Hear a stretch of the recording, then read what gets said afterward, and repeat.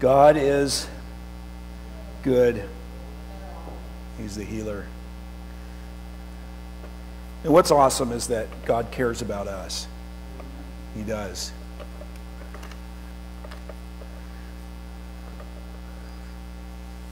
I don't know why. We're just little people. But He does. He put us here for a purpose, and He cares about us.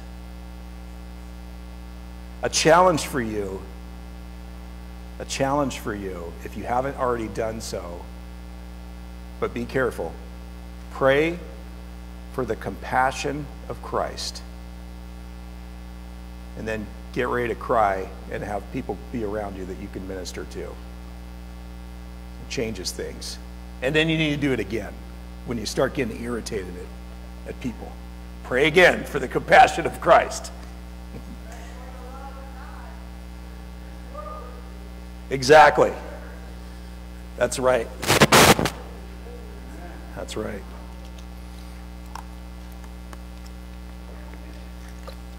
Okay, folks, we are now entering chapter 5. Ethan, you missed out on our, on our whole seminary of demonic, uh, whatever you call it, casting. Remember, you had asked me about it. You're like, oh, when you get into chapter of the next section, you're gonna, how deep are you to go with um, the whole thing about, you know, deliverance? I went deep, but you weren't here. So it's on YouTube. You got to go back on YouTube. Basically, the name of Jesus and the power of the Holy Spirit casts out demons. That's a nutshell. Now you don't even have to watch it. That's the last one. Okay, so we're actually in session number 12, and we are entering into chapter 5. So if you're following along online, you can catch up real easy. That's only four chapters of Luke that you, that you need to go through. And uh, you can also uh, go back uh, through the Facebook feed. You'll find the previous ones and also some YouTube links um, where I've cut out just the teaching part, and then those are on a playlist on my YouTube channel. So you can find all of them. Okay, so when we last left off, Jesus was beginning his ministry where he walked around and, and he went around and, and, taught and preached. And he began in the region of uh, Galilee. And if you recall, he went to his hometown and he read from the book of Isaiah and basically said, This is me. This is, I am fulfilling this. The, the scripture is fulfilled in me. And they said, Get out of here. And they tried to push him off a cliff and kill him, his own people that he grew up with other than the town of Nazareth, he was accepted throughout the region. And he went and he preached and he taught and he healed. And then he kind of settled in Capernaum. And if you remember, um, we put a map up. And if you don't remember, you can imagine in your head from the maps that you've seen in the Bible the Sea of Galilee, which has different names. And we're going to talk about the Sea of Galilee. It has a special shape. So it's named sea of other things too. One of them is the word for like a harp, um, but it's kind of like a diamond shape or triangular shape. And Capernaum, where Jesus moved to for a while, was located at the top end of uh, the Sea of Galilee, where the Jordan River emptied into the Sea of Galilee. So, if you know anything about fishing, Marv, where's the best place to fish in a lake? right, where it feeds in. Those fish are like, come on, bring me something to eat. And it brings in the nutrients and kind of grubs and whatever. And so that was kind of the hot spot for, for fishing in the Sea of Galilee. And so Capernaum's there. I guess there's not very many um, towns now around and settlements around the Sea of Galilee today. Capernaum and I think Tiberias are still there, but it's um, it's actually surprisingly desolate around. I would have thought that this place would be packed, but it's not. But in, in Jesus' day, it was. It was. There was a whole economy that was going on there. So we go into chapter 5, verses 1 through 11. Jesus is going to call the first disciples I'm so excited. Are you ready? Here we go. So it was, as the multitude pressed about him to hear the word of God, that he stood by the lake of Gennesaret, which is the Sea of Galilee, Galilee, and saw two boats standing by the lake. But the fishermen had gone from them and were washing their nets. Then he got into one of the boats, which was Simon's, who is also, that's another name for Peter, and asked him to put out a little from the land. And he sat down and taught the multitudes from the boat. When he had stopped speaking, he said to Simon, Launch out into the deep and let your nets down for a catch. But Simon answered and said to him, Master, we have toiled all night and caught nothing.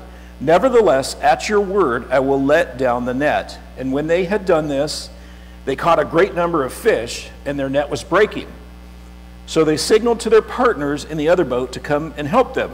And they came and filled both the boats so that they began to sink. That's a lot of fish. When Simon Peter saw it, he fell down at Jesus' knees, saying, Depart from me, for I am a sinful man, O Lord. For he and all who were with him were astonished at the catch of fish which they had taken. And so also were James and John, the sons of Zebedee, who were partners with Simon. And Jesus said to Simon, Do not be afraid. From now on you will catch men. So when they had brought their boats to land, they forsook all and followed him. So, verses 1 and 2 the fishing boats by the lake of Gennesaret. That's another name for the Sea of Galilee, also called Lake Tiberias. And there's a few other names that it was, that it was called. Um, it says that Jesus saw two boats. So these boats, one, at least one, was owned by Peter and his dad. So we, I talked about this in a recent sermon. Um, Peter and his dad were partners in a fishing business. And they had other partners who were James and John. That was their business partners. And so they're sitting there. This is daytime, and they're parked. Their boats are parked up against the shore. Oh, before we go any farther, to give some context to this, no, not yet, not yet. We're going to look at some pictures in just a minute. So Jesus gets into this boat because the crowd's pressing him. So he's basically up against the edge of the lake, and these people are just like trying to touch him, and who is it? And they're pushing from the back, and they keep pushing him. So he steps into this boat and asks Peter, just put me out a little bit for the shore so I can have some breathing room and I can, and I can teach. And then he sits down in the boat and teaches. So the boats are empty because it's daytime. The fishermen would fish at night. They would fish at night and they fished with nets. And during the day, then they would clean these nets. There's uh, three main types of um, fishing that, that's done in this lake. They still do the exact same methodology of fishing as they've done it for 2,000 years. They still do the same thing. Um, and they still use the same type of nets. Um, they even have found hooks, fishing hooks from back in this time. At, but you didn't often fish with a hook. Usually you fished with uh, nets. And they would do this during the, um, they do this, the fishing at night. And we'll, we'll get into that in a little bit more. But the, the economy was pretty significant in the region for fishing. Fishing was a major part of it. Uh, I was reading a, a, a, paper by, by a, um, uh, it was a, a professor, and she was talking about how this is something that's never really been discussed as much as it probably should have, because we see um, fishing and fish references all through the gospel those uh, Jesus called, you know, fishers of men, and there's the fish sign that, you know, was the, the secret sign of, of a Christian. And there, over and over again, there is references to fish, and her, her paper, research paper, was kind of about the economy of the region and how important fishing was, and how it really should be a kind of imp more important to us in terms of the gospel. But there's so much. I mean, there's so much to cover and again, we are out of we are out of the context. We're 2,000 years away and thousands of miles away. So um, it's good to kind of think about what was going on day to day, day to day. So here's these guys that are laboring. They're, they're fishing, and this is hard work because they, they would fish at night, um, and, then they, and then during the day they had to repair and do all these things with their nets, and they had to sell their fish. I'm not sure when they slept, but it wasn't very often. As a, as a business uh, owner, I can relate. you don't sleep very often sometimes because there's work to do and you got to do it and you got to pay the bills. So that's what they were doing. They were paying the bills. The fish they would catch were a type of tilapia. They were called uh, tilapia, or now they're called tilapia galilea. That's the scientific name. So um, you can go buy a tilapia. I, actually, yesterday I bought tilapia fish at Sherm's. They're frozen. It's good because it's kind of good low calorie uh, food. Um, so it's a, uh, th- and this is a freshwater lake, by the way. It's not salt water. So there was a tilapia galilea, which is now called, do you know what it's called? What do people call it? St. Peter's fish. Yeah. So we have some pictures. So put up these pictures. We'll go one at a time. I think I've got like four of them. This is modern, obviously. That's the Sea of Galilee, and here's a modern fishing boat. Um, the only real difference in these type of boats from then is they got motors instead of sails. Go to the next one. And here's some guys. These are probably not tilapia. These are pretty big. This, I think this is a different kind of fish, um, but this is current. Um, there's a guy processing his fish, and they still do it the same, same thing by hand. Go to the next one. And this would be representative of the boat that Jesus would have got into. So this is um, maybe either a reconstruction or maybe this is a, a, current, you know, boat that somebody has, but they were they were small and kind of narrow, and maybe uh, probably kind of flat bottom so that they could pull up into the shadow the shallows because they didn't use boat docks. Okay, next one. St. Peter's fish. So tilapia. Looks familiar, doesn't it? Like uh, like a like a crappie up in the Cooper Creek. Similar. But apparently, these guys don't, they, they don't have very many bones, and you can just, they're, they're, they're kind of flat, and you can just throw them in a frying pan and just kind of fry them, turn it over, fry it, and there you go. You're done. Think about this. I mean, Jesus was eating these fish on the, on the seashore. It's funny, you know, because after this happened, you know, when, when Jesus was crucified, then Peter was like, okay, I guess I'm going to go be a fisherman again. And life's, you know, I thought I had this great thing, but I'm going to go back to what I was doing, back to fishing. So he went back there and he's fishing. And then Jesus comes and has some fish with him. They kind of did the full circle thing. Pretty cool. Okay. So, verse 3 says that he got into Simon Peter's boat and asked him to push him out a little bit. So we notice from this that, that as we kind of stated that the crowds are pushing in on him. But so these crowds are all pushing in and they're listening to what he has to say. They want to get healed, they want a part of him. But what's Peter and, and his partners doing? They're working. They're, they're getting, they got they got business to take care of. So Jesus asks him, Can you take me out? And from the language in here, you can tell that it's not just Peter and his boat. He, I think he's got some employees in there. But he says, Yeah. He has respect for Jesus.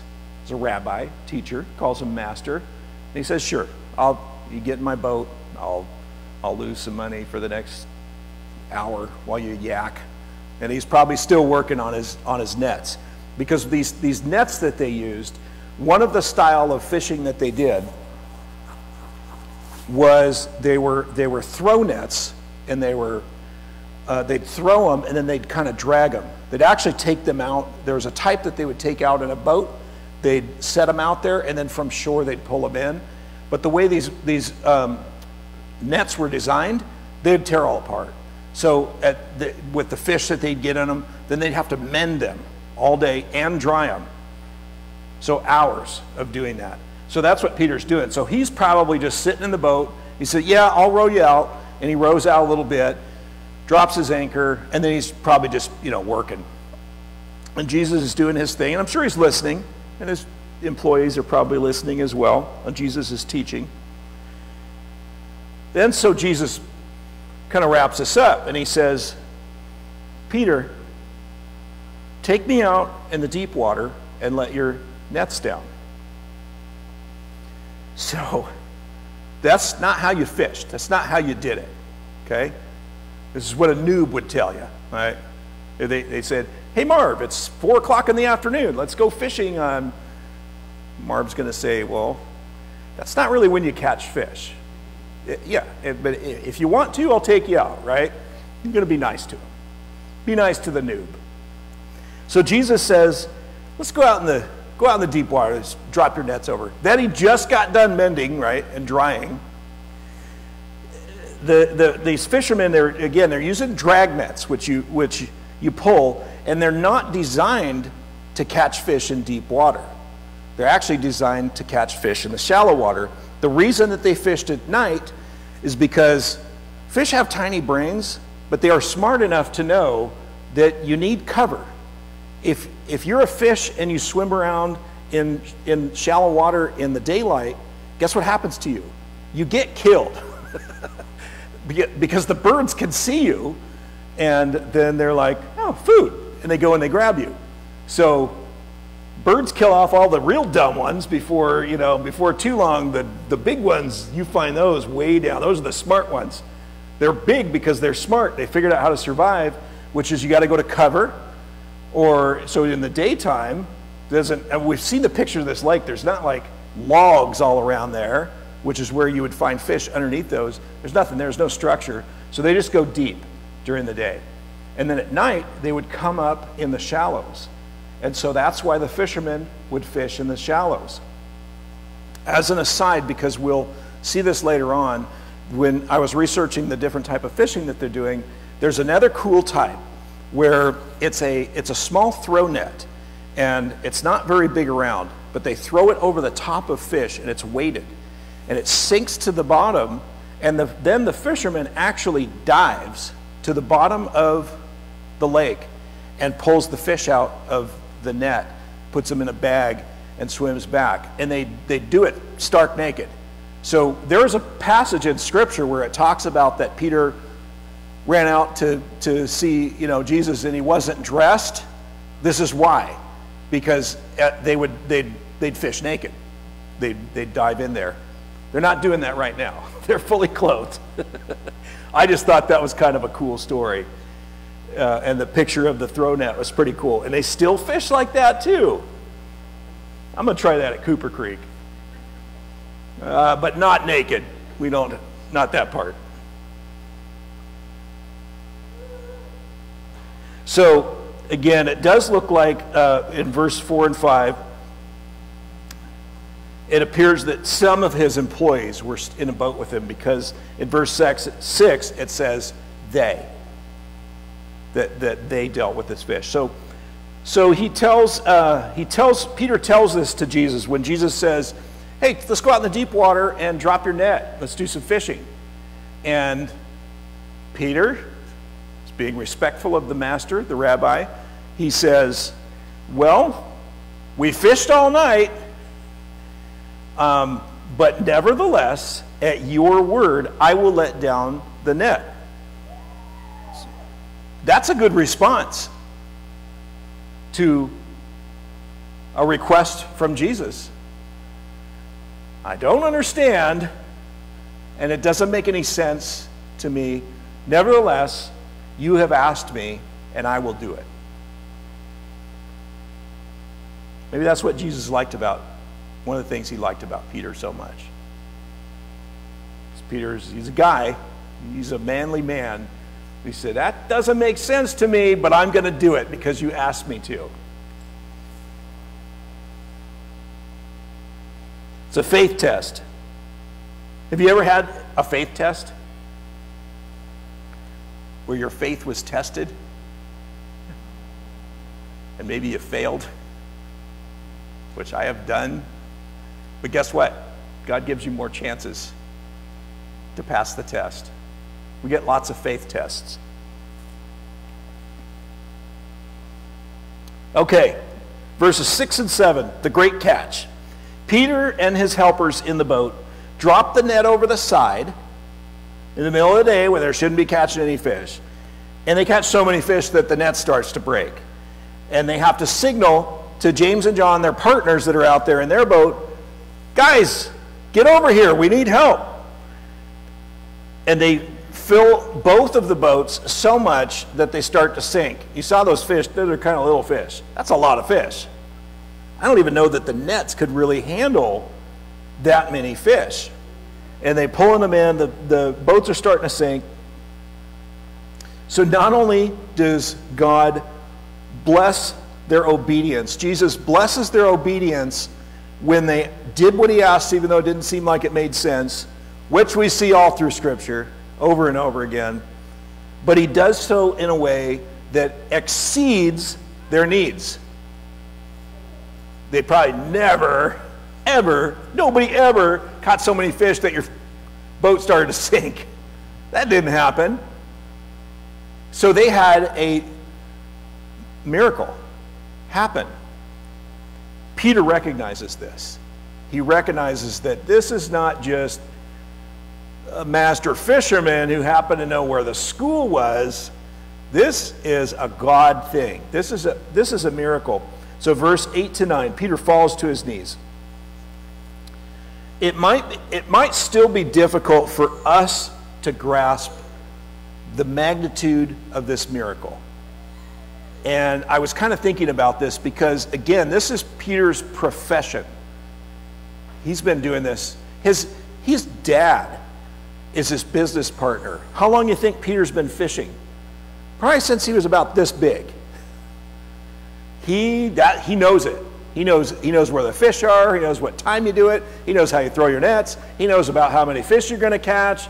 He knows what the average is going to be. He knows everything. He knows how many taxes you got to pay off your fish because you had to pay taxes to the Romans on your fish.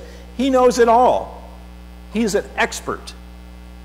And Jesus does a miracle that he gets. He gets that this is a miracle.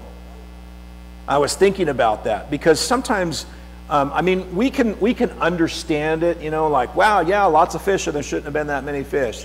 But it was very specific to, to a fisherman. They would know. And if there's something you're really, really good at and you're super into, then when you'd see that, then you'd be like, oh, yeah, I get it. Maybe not everybody else is going to understand the magnitude. It's kind of like when, uh, when Joni got healed of um, vertigo. To me, that was really incredible because I had gone to be at her side at the hospital. So, like, I had a, a real understanding um, more than if I just knew that she had vertigo. Like, I had gone there and seen the, res- the, the results and the symptoms and how messed up she was. And then to see that happen. So to me, it ramped it up. It ramped it up. So for Peter, this is like, yes, this is awesome. And he understands, wow, this is not just an incredible guy. This is, God is involved in this. He understood that Jesus was not just another teacher, he wasn't just another rabbi. And it says, when Simon Peter saw it, he fell down at Jesus' knees, saying, Depart from me, for I am a sinful man, O Lord. He was convicted. He understood that he was in the presence of the Holy One and he instantly realized he was unworthy. He was a sinful man. And he was convicted of his own sinful nature. So I was thinking about our response to a move of God. If we're, if we're seeking, if we understand, it's, it's like that. If we understand this is God, we go down on our knees and we're convicted. But there's some differences between us and Peter in those, in those cases. What are they? Yeah? Yeah.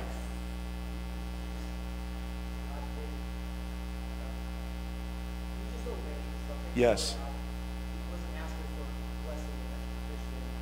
Right. Yeah, that's true. That's true. Yeah, and I and I was thinking that um, at the time, if you were convicted of your sin, what are you going to do about it? You're going to, yes, I'm a sinful man, and they have to go, you know, do the sacrifices, and and I just don't think we can understand, fully understand the difference that we have with Jesus who died for our sin and ended the system of having to go and do these sacrifices to be forgiven. Jesus just starts forgiving people. And then he dies for all of our sins, once and for all. So, yes.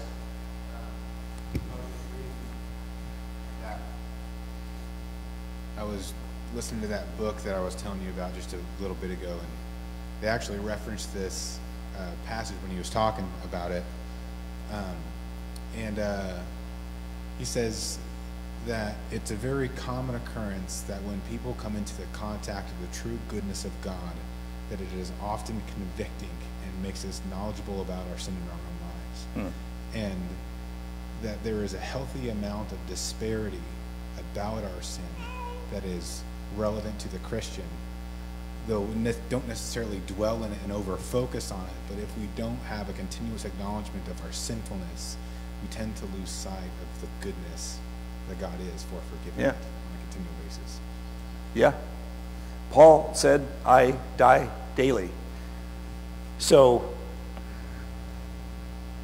until we until we uh, reach perfection, right, which is is not going to happen here then we continue still to live in a sin nature, and it's an interesting thing and a, and a larger discussion.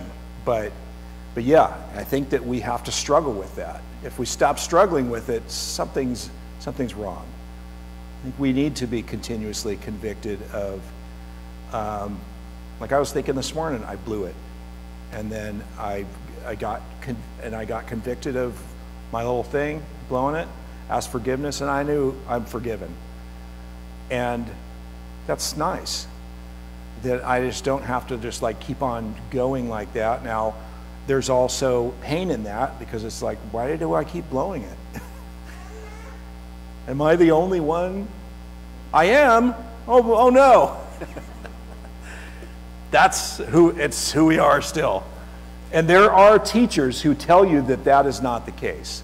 That like there are teachers out there that are very popular that have big followings who tell you that you, you're, uh, you, when you're saved, you're, you're, you're sinless now. And they will tell you, I don't sin anymore. I, there's one guy, very popular guy, he says, I haven't thought of a woman inappropriately in 25 years. I'm going to say that that is not honest. That, that, that is just not true. And the problem is, that it creates an issue for the followers of these people who say, Yes, me as well. But every day, they have thoughts that they cannot control. You could fight them, you have to, you subdue your mind, right? But you still, they still come in. You have inappropriate thoughts, sinful thoughts, you, have, you, you make mistakes, you speak in anger. You cannot go through your life in, in, in these bodies in this sin world and not and not do that. And to teach people that you can is super damaging. And I know some of them and they struggle with this so hard. because they just think, man, uh, there's something wrong with me. I can't do it. Why can't I do it? And this guy I follow does it. It's because the guy is lying. That's not scriptural. Off topic. You just touched on something that fires me up. I don't like that. I don't like seeing people get put in bondage from terrible, terrible systems of religion. Okay. Verse 10 Fishers of men. So Jesus tells them that they're going to catch men from now on. James and John were fishing partners with Peter, and they were there to help the boat. So they saw this going on. Jesus tells Peter, who has fallen to his knees, Don't be afraid. From now on, you will catch men. Instead of fish, Peter is going to be harvesting people for the kingdom of God. You know what's interesting about Peter, and probably with all of us, is that the experiences that he had with Jesus and in his life before, you can see them in his writing. With Jesus' conversation with him about the rock, and, and I mean, I really studied about that when I did a sermon on, on the, the, the stones. And that is out of First Peter, and he is using the imagery of rocks and stones because I mean his name that you know Jesus called him is is rock and stone, and Jesus dealt with him about this and talked to him about the stumbling stone, and and um, it, it's it's interesting. So the, the the things that Jesus told Peter, and the imagery that he gave him, and the lessons that he taught him, stuck with him forever. And I'll bet you that that started right here with this fishers of men. You're going to catch men. And he did. Thousands. Thousands and thousands. We see that in Acts. 3,000, then 5,000. He's speaking, preaching the gospel, catching men for Christ, casting the net. It's awesome. Yes.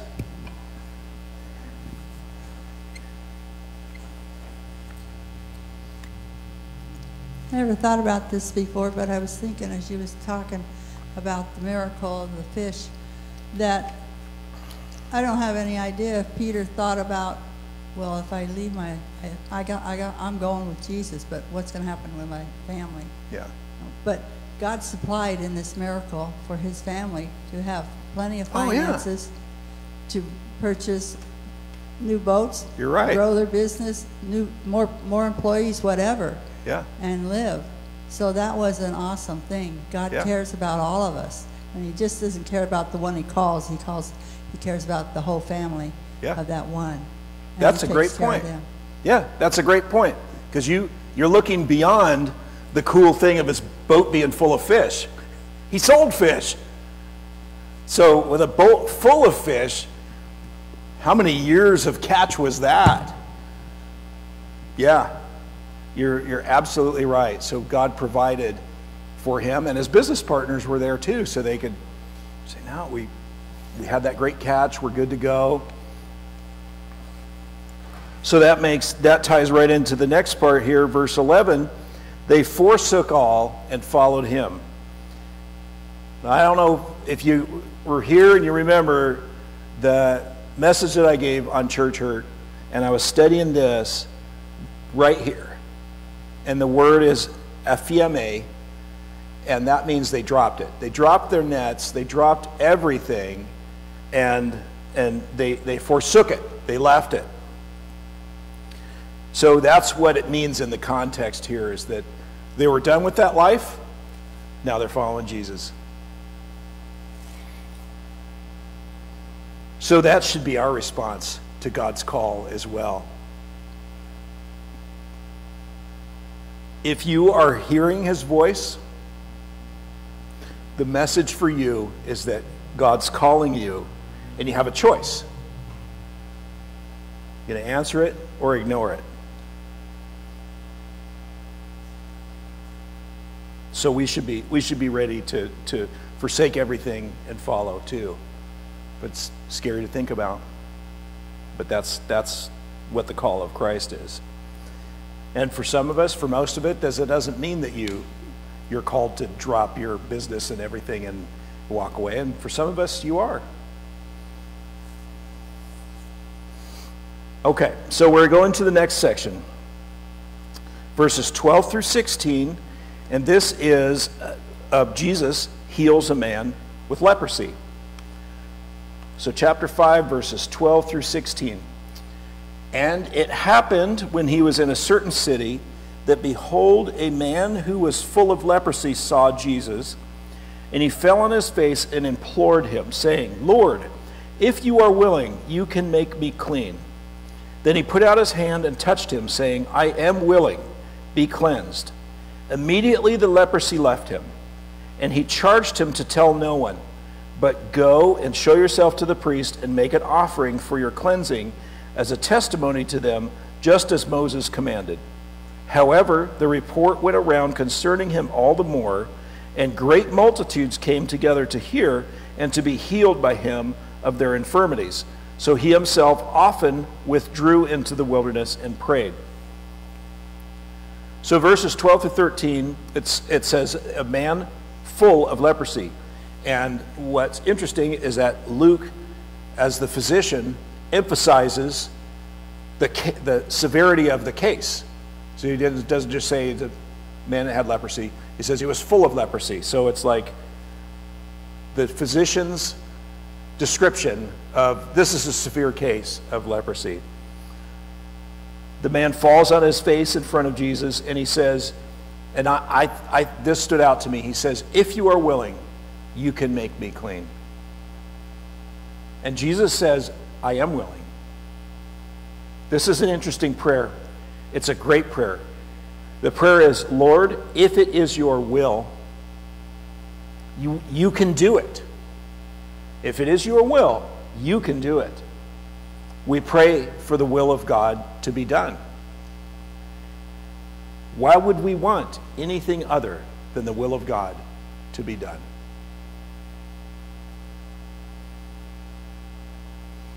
So, what is leprosy in the Bible?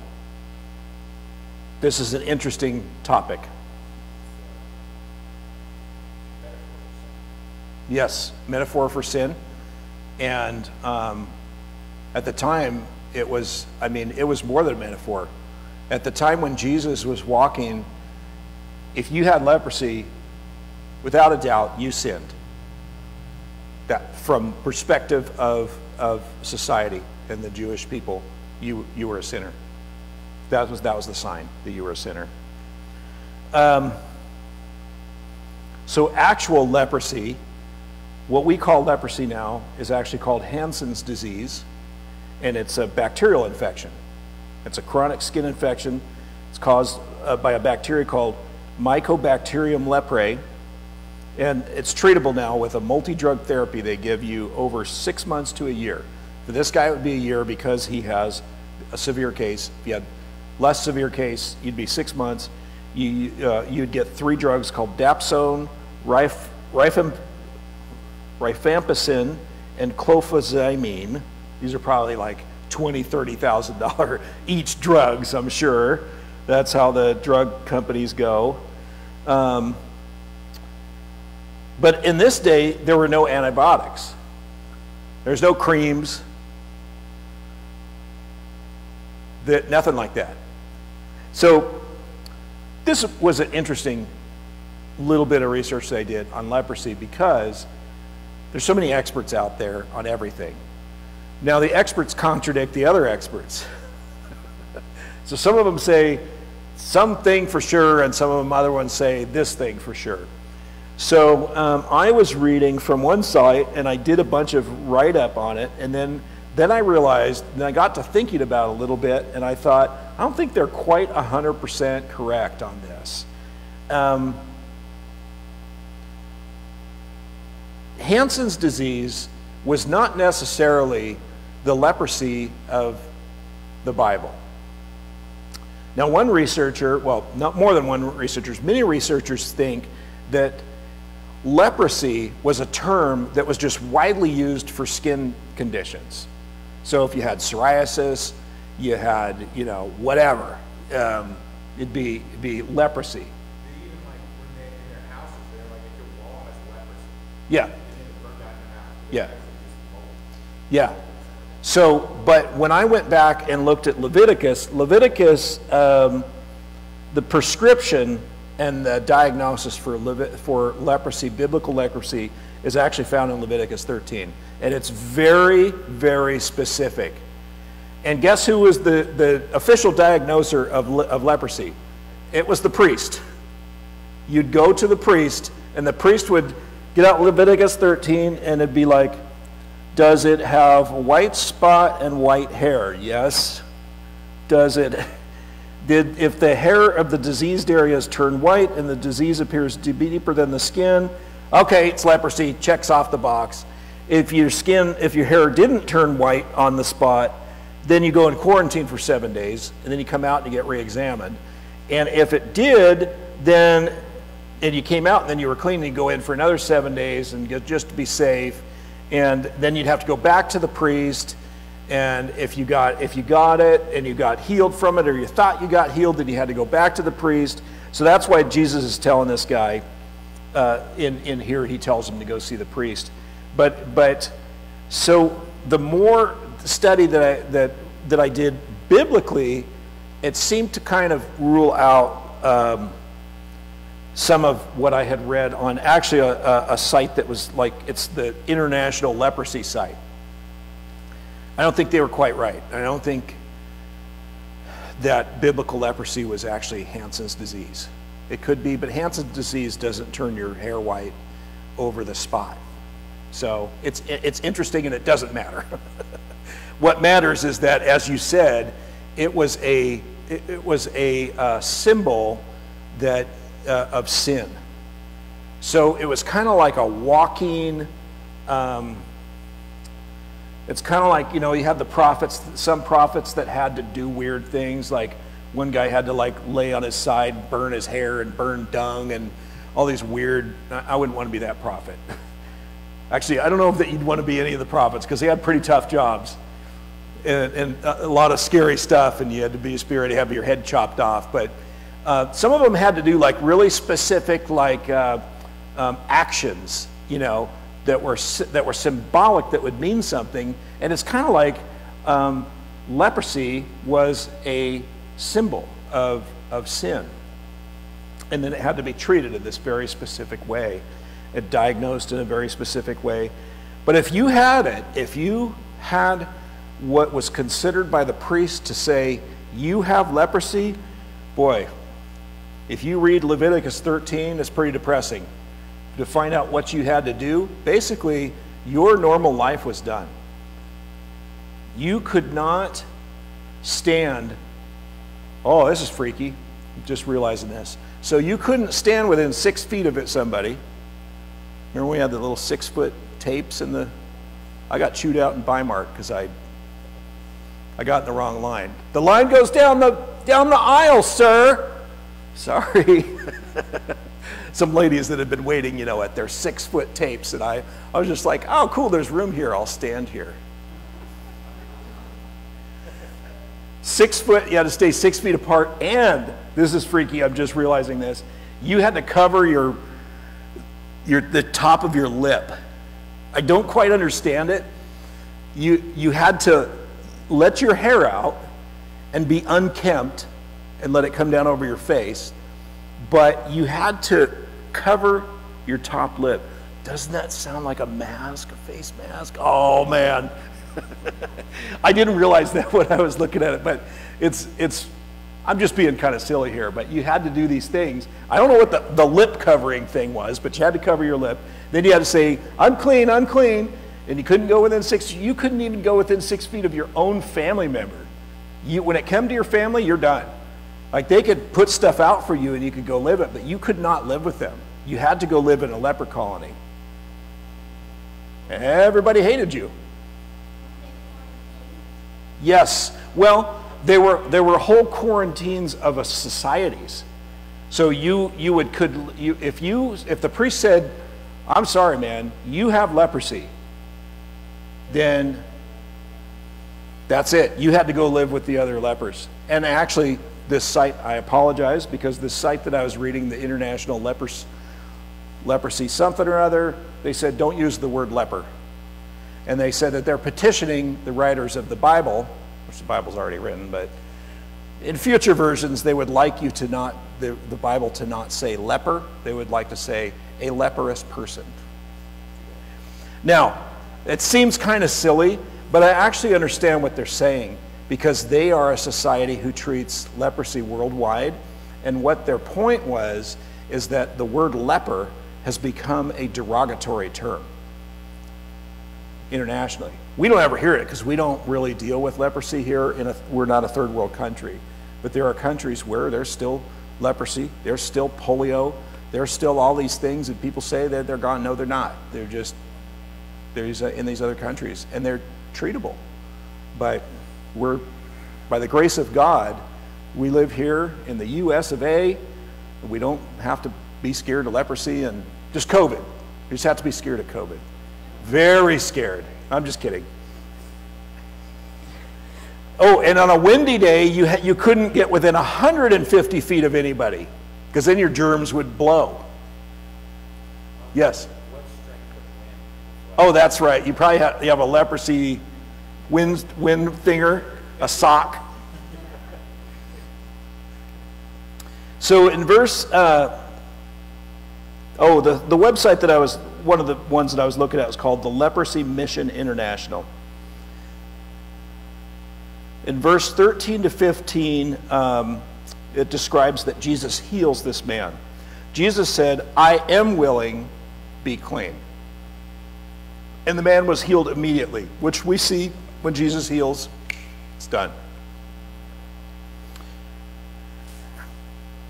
Jesus tells him to go straight to the priest, as instructed in Leviticus, and he also tells them not to tell anybody, which never seems to work out in the gospel when Jesus says, Now don't tell anybody what just happened to you. But so the word gets out, the word about Jesus spread. Everybody wants to hear him teach and be healed by him. Wouldn't you? Do you now? I do. Verse 16 Jesus often went into the wilderness to be alone and pray. So everywhere he's going, crowds are on him, and he's he's growing in fame and and you know because these people they want to they want to come and see this guy who heals. And and so when they do they crowd into him they bring him people to heal they want to be healed they they touch him they get up in you know up in his face where he's has to get on a boat to even be able to, to speak to him. So it's overwhelming. And he was a man in a physical body, just like us. He had the same weaknesses, physical weaknesses that, that we have. He could get exhausted, and he did get exhausted. And there's something exhausting about ministry. So there are times, and it's not all the time, but there's times, um, times of worship, times of prayer, when the Spirit of God moves, times when, when I get to preach, I'm done. when that's done, I got to go sit in a chair because I'm like, if, if it was, if the Spirit of God was moving in the way that I always hope and pray that He does, it's so exciting, but it's so exhausting. It takes, it takes everything out of you. And worship leaders know the same, the same thing. Um, the more incredible that you, that you notice that the, the Spirit, the Holy Spirit is moving, the more sapping it is of your human physical strength. And so, Jesus, can you imagine what he is dealing with every day? Just, you know, healing and giving and the Holy Spirit's moving through him, and it's power. It's great power. Uh, remember when he, the woman touched his garment, and he said, "I felt some of my power go out of me," and he didn't even know. You know, he just knew that somebody had done that, and so he's doing that every day. So he's got to go recharge, man. He's got to go spend time alone with God and prayer. And, and so he goes into the wilderness to be alone and pray, which is something that we should all be able to do, and is to have a spot where you can go uh, or a time that you can that you can do it. Some of us foresters, it's like we don't have to. Well, now I kind of have to try because I'm not in the woods all the time. But you know, um, you're out in the woods all the time. There are times when you just like you just fall down and pray in the middle of the woods, right? Yeah. It's kind of funny, but my, my Bible says, you know, when he himself stop and slip away to the wilderness and pray. And it has a, a reference to that word wilderness that says lonely places. Oh yeah, lonely places. Yeah. No distractions. Um, that's you know that's the hard part of our lives now. Where can you go when you get no distractions? Sometimes it's like you know, um, for me it's early mornings. Um, if I can be disciplined, and I, to be honest, I'm not disciplined every single day. I have to, I have to when I when I get up, I grab my coffee and I go and I want to spend time in the Word. And if I if I'm not careful and I accidentally push the wrong button on my tablet, I'm on the internet, I'm on Facebook, and then or whatever, and I'm like, darn it, because now I got to finish this, then go back. But it's like it has to be the first thing. It has to be the first thing, and if it is, it's actually like even if I feel like I can't open my eyes, it's refreshing, and and and, it, and it's just even if it's just uh, you know open open the Bible app and what the first verse that comes up, whatever. That's the one that you're going to read, or maybe you're do, maybe you're going verse by verse. I I usually have like multiple like ideas and little studies going on, and then I get distracted and do a different study or or whatever. But those times are really important, and and times of prayer. And so, um, if you're if you if you haven't developed that into your life, I, I would just encourage you to do that. That's something that Jesus modeled for us, and I think it's really important to your to your walk, and actually really helps you just mentally, and as well, um, to spend time in in prayer, and um, that's all. So.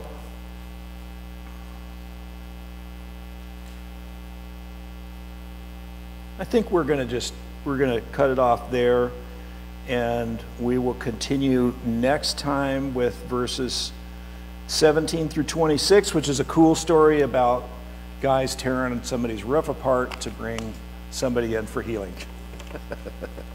Good friends good buddies who will tear somebody else's house apart for you. We all need friends like that. So be blessed. Um, glad that Johnny made it through surgery.